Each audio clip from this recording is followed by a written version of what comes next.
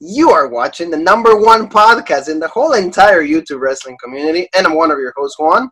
And I'm your other host, Jean Paul Leek. And together we are Rope Break! And it is time for Night 2 AEW Fighters Fest. How you doing, Jean Paul? It's been Good. a video that we're going to be talking about this second night of uh, this pay-per-view that didn't feel like a pay-per-view because there was no video packages. It was just Yeah, matches. Yeah, I mean, you can call it Fyter Fest, you can call it Great American Bash, you can call it whatever. They're not pay per views. It's just the regular NXT, it's a regular AEW Dynamite, it's the regular show. They're, they're just wearing Hawaiian t shirts. We didn't Yeah. even see the girls. Yeah. Night night one, we saw the girls, and it was like, Ee! and then tonight we don't see nothing. But no, there, I mean, we, like- the the one thing we, left. yeah, the, yeah, they only paid him for one night. They're like, yeah, uh, yeah, they only paid but I mean, the one night. thing we did see, I was surprised by the main event. I didn't think that was going to be as good as it was. Not saying that those two guys couldn't go, but the main event was good.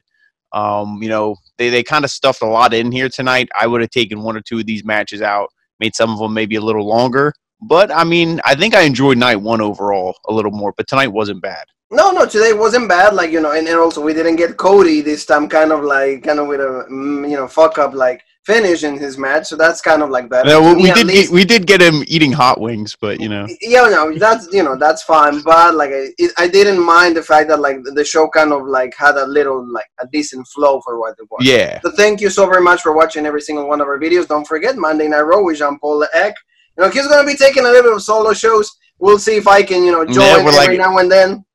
You know, like a contractual like obligations with other stuff like made me you know not being able to be part of it, but I'll be backstage. You know, guys. But thank you so very much. But I'll be here for Dynamite. I'll be back for NXT and SmackDown, and we have plenty of stuff. You know, the horror show. This is going to be a horror show on, on you know for SmackDown, and also in two weeks we have Slammiversary for Impact. So you know, Rope Break is always packed with things. So Jean Paul, AEW started, or like Firefest Night 2 started with like Kenny Omega and Adam Hangman Page defending his championships against Private Party. This was you know a good match, but like Jean Paul always says, this has become just a spot fest because that's all they do. You know, they try to like condense a lot of like high spots and then just kind of like tell a story within that those parameters. But do I like it? Do I don't like? Um, I think it's alright. I think that like Yeah. when it's overly done, it's not as good. But like right now, it was okay for me because it was quick. Yeah, and I'm gonna be honest with the spots. I like when spots are done, but it's gotta be like very smooth. If I see a guy standing there going like and waiting for a guy to hit him, I'm completely taken out of it. That's like you know, you you say like you don't like when shows are are pre-taped and we can see the endings before it airs. That's the same thing that I feel when I see a guy just standing there waiting for a move. I already know it's a predetermined sport, but when a guy stands there and makes it that obvious, it takes me right out of it. So yeah, that's it the only problem I have with bit spots. more. You know, it needs Yeah. to feel more like legit than like, yeah, or more like- organic. But I mean, the match was good. There was some good spots. You know, I love Hangman. Um, but this match was thrown together last week. You know, Private Party. Oh, okay. Next week they're gonna have a title opportunity. No build. You knew the titles weren't gonna change hands. But, Yes, you know, it- it- a, a it was- decent, a pretty good way to start the show. I Yeah, think. it was. It was you know a lot of high spots. Like I said, I really like when like uh, one of the members for Private Party. I think it was it, it was it was Kassidy. Uh, he he dove like he did like a. I think he did like a senton or something on the outside, and then everybody like and Hangman Page also like kind of oversells because he goes and then all the way over the barricade and stuff like that. So this was like good stuff. I really like that. But like you said, put this match was put on. Why? Because they couldn't have Moxley and Brian Cage for the AEW World Heavyweight Championship. That's why they did it. And of Mhm. course, they're gonna keep their championships on Omega and Page. Why? Because they're the champions, and there's no reason to Exactly. a title switch. So that's why they did it. And John Paul, of course, this time at least they were able to hit their finisher, which is really cool. Yep.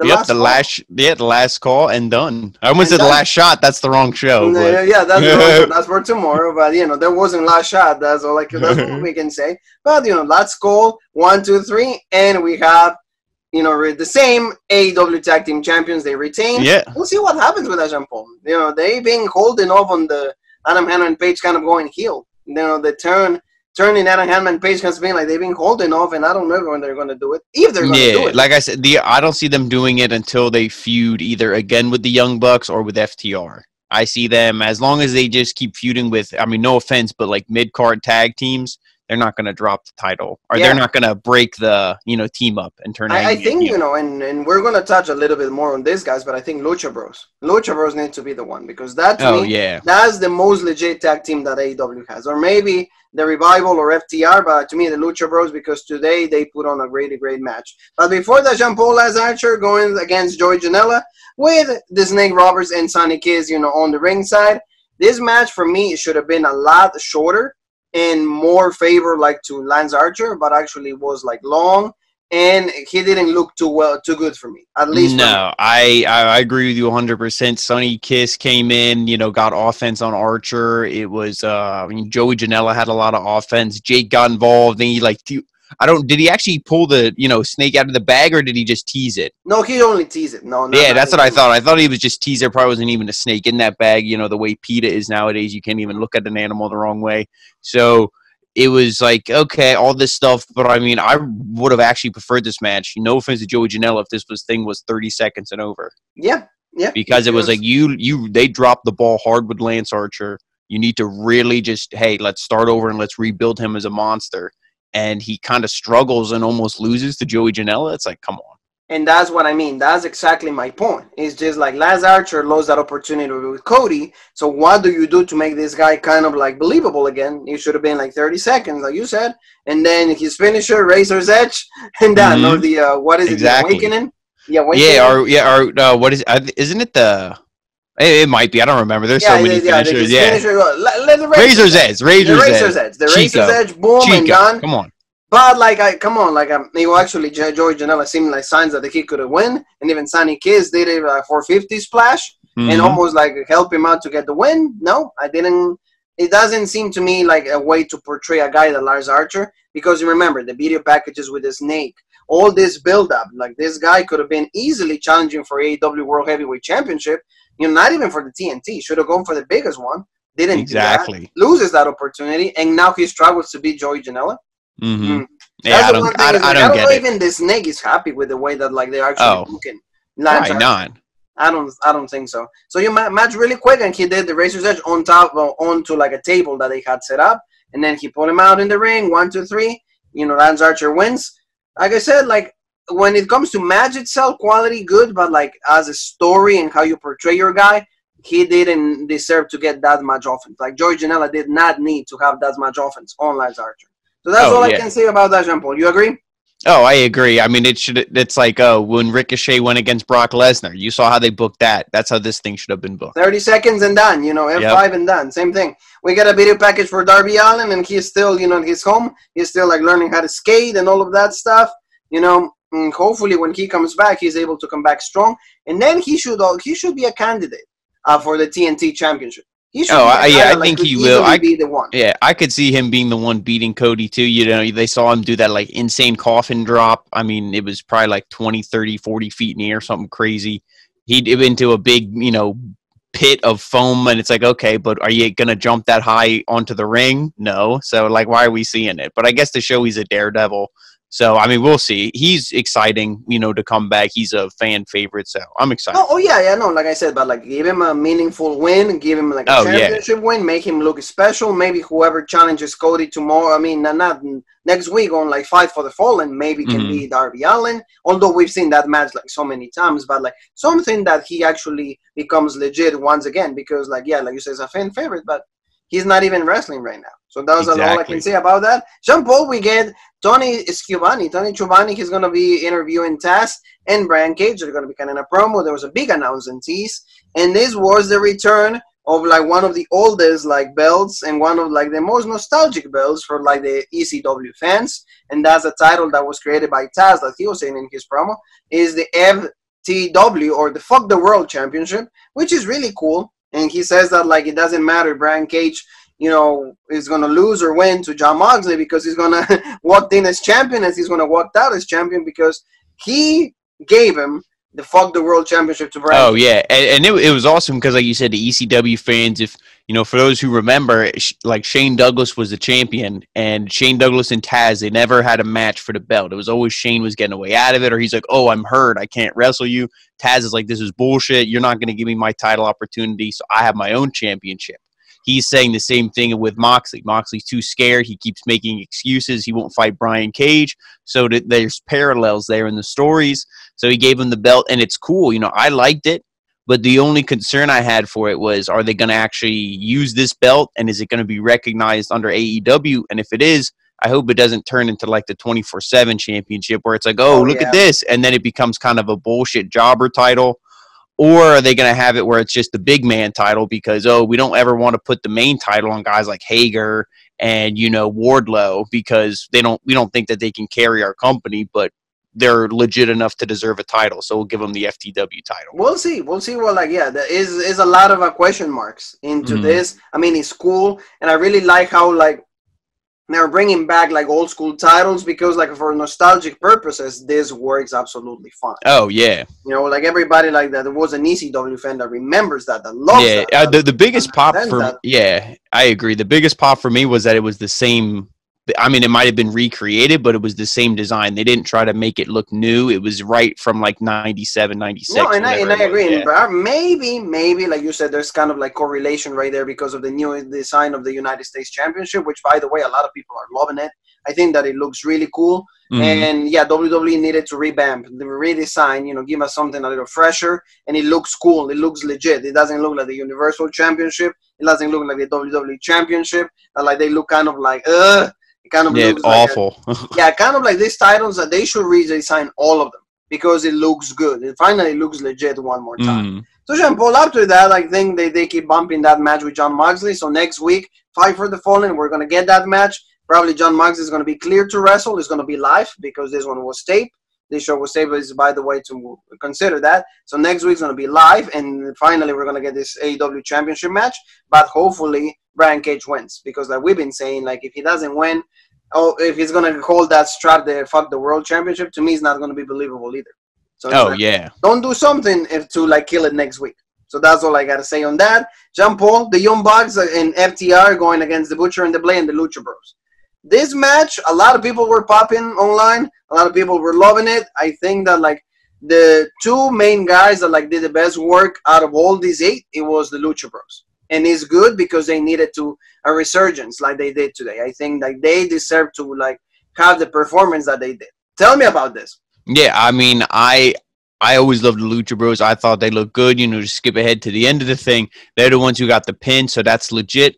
But my only issue with it is it's like I just don't like how I said Matt Jackson. He gets a hot tag. He comes in. He literally just like elbows all these guys off the ring. Like he just clears the floor of them. Okay, he if he knocks out the blade, like okay, maybe Fénix, okay, but you're not going to take out all four guys. You know, like when do you, when do you ever see it? Like you punch a dude on the apron, then you go beat up the other guy in the ring. And Oh, I yeah. also and one thing I also don't like is this new 10 second rule.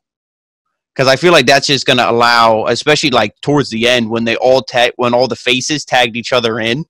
Oh yeah. Like what does that even mean if you have 10 seconds?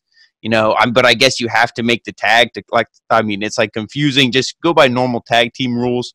But this match had a lot of the spots where it's like, "Oh, let's stand here." But then it also had some of the spots that I thought were legit, like the Canadian destroyer on the Canadian Destroyer outside. was pretty good. The one that Yeah. like they messed up is the what one that Pentagon and I think it was the Blade. I, was- I'm, not- I'm wasn't Yeah, sure. one of one of them, or it was the butcher, but he had it was either Nick or Matt. He had him up almost kind of like in the Styles Clash position. You know, he's ha- holding him there, and he was just holding him for like what felt like an eternity. Yeah, And he's just standing there waiting for somebody to like, I guess, uh, was and, and to then they did the team move, and then like you, he kind of didn't know if it was legal or not. You saw like Yeah. hesitation, and then the ref is like, "No, no, no!" It's like Pentagon, Pentagon. like that. That was kind of the things like you Yeah. said. Every time that there's a lot of guys, it becomes a clusterfuck.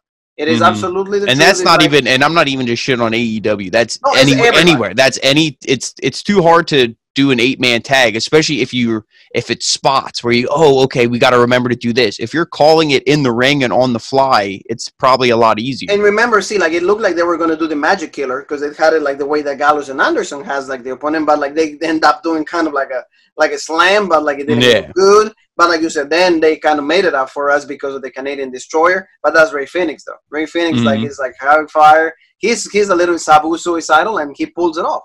Oh they yeah, did really good spots. I really, uh, I kind of like how like they did the 10 second rule. Like you said, a little confusing, but I kind of like how like they were all doing moves on the on the guy. Like they were did the splash, they did like yeah. The, uh, oh, I mean, driver. I, I, I, did like that. I, I would have liked it if it would have been more like the story would have been flipped and it would have been like the Young Bucks and maybe Private Party, two babyface teams. I just to me, I don't like the FTR and Oh yeah, you know, yeah. I, I don't like because you know you guys are supposed to hate each other. You talk all this shit on each other, and then you're gonna be on the same team. Yes, and it's like yes, okay. but like the good thing is like Pentagon and Rey Fénix, they hit the that like the pile driver that they have, like and Rey mm-hmm. Fénix also helps out. They hit that one, two, three, and actually they win. They yeah, because I, I think there was some dissension. I think he accidentally hit like uh, Dax or whichever one of the you know whichever one of the FTR revival, yeah. whatever. He he hit one of them and he was like, "Oh shit!" And he was distracted. And like you said, they hit the pile driver. So I guess it continues on the feud with FTR and the Bucks. So it's not yeah. And then the actually worst they're thing, gonna but... have they're gonna have that match next week. It's gonna be FTR against the Lucha Bros. Yeah, so, so that they're would gonna be give legit. us like a. I think, for example, this week NXT is gonna beat AEW once again. Mm-hmm. My next week, I think AEW is gonna get the win. One oh yeah, yeah. I think they will. And the main faction, Paul, live. Mm-hmm. Remember that it's gonna be live, but like you said, it was it was a decent match, but some spots like uh, well, like you said, if, if there's some disconnections, it looks bad. But Yeah. overall, I think it looked pretty decent. So going to pretty decent, we get Big Swole. She's not allowed to get in into the building.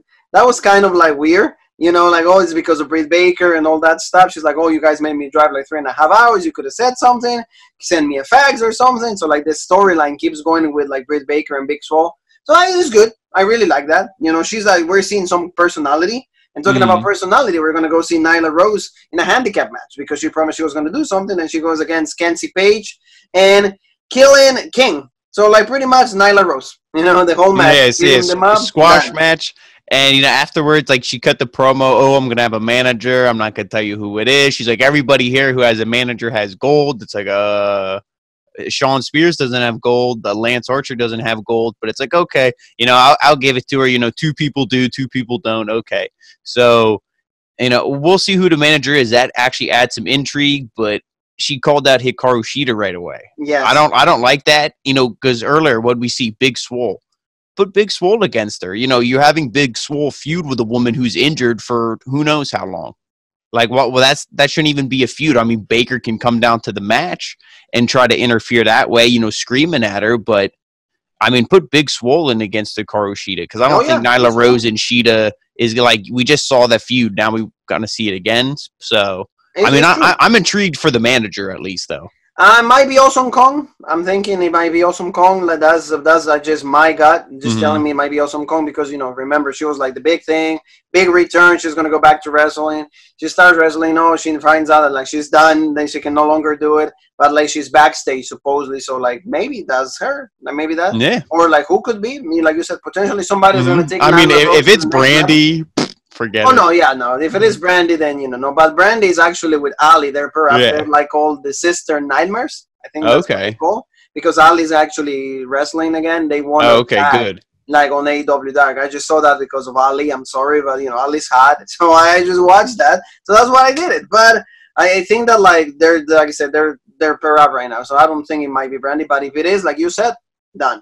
So Mhm. something that is done that like didn't really cause any attraction for me, any excitement. SCU against the Dark Order, and you know, as in the Dark Order with Colt Cabana. This match was pretty decent, but also fast. Really didn't get any any of my interest, just because the storyline is not even there for me.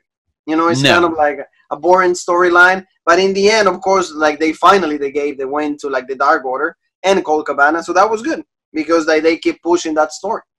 They keep pushing that story, and every ever since, even like I think it was uh, Jim Ross and also Excalibur, they said ever since Colt Cabana went to the office of Brodie Lee, he's been winning matches. So that's kind of like the storyline. But what do you think about this jump? Yeah, I mean, but see, this is like you know, this is a a good mid card feud, but it's tainted with what you did beforehand when he lost to Moxley. Because Oh, yeah. anytime I see Brodie Lee, I just think of when he yelled at the guys for coughing and oh, let's just make fun of Vince McMahon for three weeks instead of trying to make Brodie Lee actually legit. It's like oh, let's just make fun of somebody else. Okay, that's like middle school bullshit. And then, you know, oh, he loses to Moxley. Oh, okay. Now the guy's dead and buried. Oh, but now we're going to try to build him up after that. Maybe you should have tried to build him up in the beginning so he would have been legit in our eyes when he had the title opportunity. So Oh, yeah. they kind of have it flipped backwards. We'll see where it goes, but I mean, it's a you know it's a decent mid card feud. You know, I like SCU. I, I know I love Christopher Daniels, so Oh yeah, no, like uh, Christopher Daniels is good. Scorpio Sky is good. Like he's been having a lot of matches in AEW Dark. Whoa, somebody watches AEW Dark. I don't know. I just know the results because this time they were smart enough and they put the results right there. Even John Paul said like Brian Pillman had a match and he lost to Shawn Spears. When he Mhm. needed to win, then he loses. You know, Mhm. like Brian Pillman is like a pretty well considered guy on ML, MLW. So and MLW has been like a kind of like an NXT for AEW. You can say that because Yeah. that's where like MJF came out. That's when Havoc came out. You know, a lot of guys came from MLW. So maybe Pillman is going to get an opportunity, maybe get a contract, and that will be cool because, like you said, his father, of course, was a great wrestler. Of course, his life was cut short, and that that sucks. But like we we will be looking forward to see Brian Pillman, especially with the Elite. I think they will be able to carry him and his legacy a lot better than when WWE really could because he will become another uh, Michael McGillicutty, or you know, like Oh, that yeah. end up being Mr. Perfect's son, and that's not what you want to see. You know, Curtis Axel. So that's the stop, Jean Paul. Let's go now to the main event. The Le Champion Chris Jericho going against mm, Freshly Squeeze, Orange Cassidy. Mm, Freshly Squeeze. He well, he was so so fresh, but put the hands In the the end- pockets. Jean Paul, like he was saying, it was a good match. I really enjoyed it. Um, kind of, of course, the interference by Santana and Ortiz helped him out, helped Le Champion, but it was good. What do you think, Jean Paul? Yeah, and, and I like because as soon as he sent the best friends back in the beginning, it's like okay, but you know Jericho's gonna come out with his boys. Of course he did, and I'm thinking, oh, the best friends are gonna run down like five minutes into this match, and it's gonna just be chaos. No, they didn't come down to the very end, so I appreciated that. I you know they let the guy it play out it because Orange Cassidy was like, I want to do it alone, and there's a bunch of times you thought he was gonna overcome the odds and. I mean, that would have been legit if Jericho would have put him over. And I don't think it's anything political. I think, I mean, it makes sense for Jericho to win because you still got to keep Jericho strong. Hot. Yeah, Yeah. he- like if he keeps losing and it's like and he becomes a joke, then it's like, oh, okay, then your hottest guy, the guy with the most name value, is a loser and a joke. So they, they don't want to do that. you. I But um, I mean, Orange Cassidy looked good. Like you looked like a stud.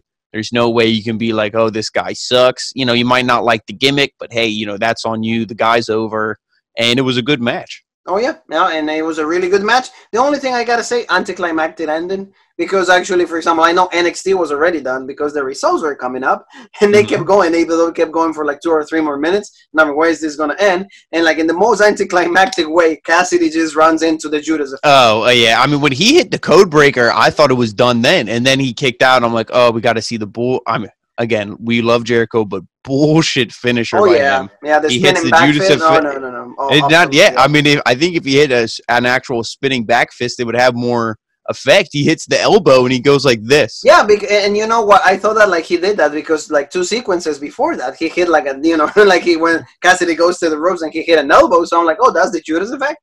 you know, yeah, like, but it doesn't even like look like a Yeah. devastating move. So that's the only one thing I gotta say on that. And I know you agree with me, mhm. but like I really like the fact that like when he hit the code breaker, they call it the code breaker.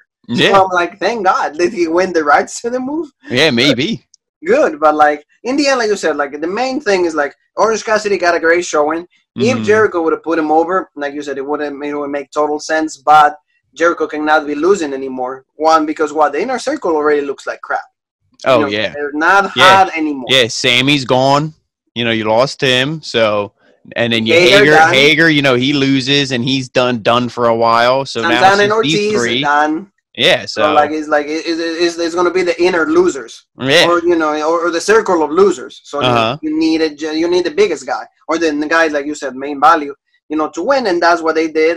And like I said, Cassidy will have his opportunity. You know, he's Mhm. young, and he's he to get his opportunity with Le Champion and be able to pull off a really good match. There you go. That's all you need. You know, that tells you that down the line at some point. It will not be a surprise to see Orange Cassidy either with the TNT Championship or with the AEW World Heavyweight Championship. I wouldn't be, you know, upset if that happens because it will be mm, freshly squeezed. So Jean Paul, you know your conclusions on AEW Fyter Fest as a whole. You say you enjoy night one more. At least Yeah. night two was a little better. Are you looking for like Fight for the Fallen? Yeah, I mean, I think Fight for the Fallen will be good. I don't. I see being on par with Night One. I don't know if it'll be that much better. I mean, depending on the outcomes and what they do, if we see like you know maybe debuts because it's live, you know, hey, you can bring people in, you know, do surprises. I think it'll be a good show, but I mean, I don't think, like I said, I don't think it'll be better than maybe Fyter Fest Night One, but we'll see. No, I, we'll I'm see. still, Like, I'm still excited. Main thing is like you know Brian Cage needs to be the AEW World Heavyweight Champion, like Yeah. said, because they cannot be jobbing guys out. And I mean, Jon Moxley has his time. Unfortunately, it has not looked so legit, but you know that's what it is. So, family, Jean Paul, where they can find us in the social media world. You'll find us on Facebook, Instagram, the original Rope Break, Twitter, the OG Rope Break, and right here on YouTube, the OG or the original Rope Break. There we go. meat and potatoes you know thank you so very much for like all the subscription on youtube for all the love on the instagram page you know we're almost like 400 500 subscribers thank you again we love it you know thank you for the all interactions so jean-paul tomorrow you and me have to cover nxt the great american bash night 2 Mhm. and you know we hear a lot of news you know a lot of stuff. So we're gonna have a really great show to talk about. So jean-paul one more thing that we have left to say is what jean-paul? Uh,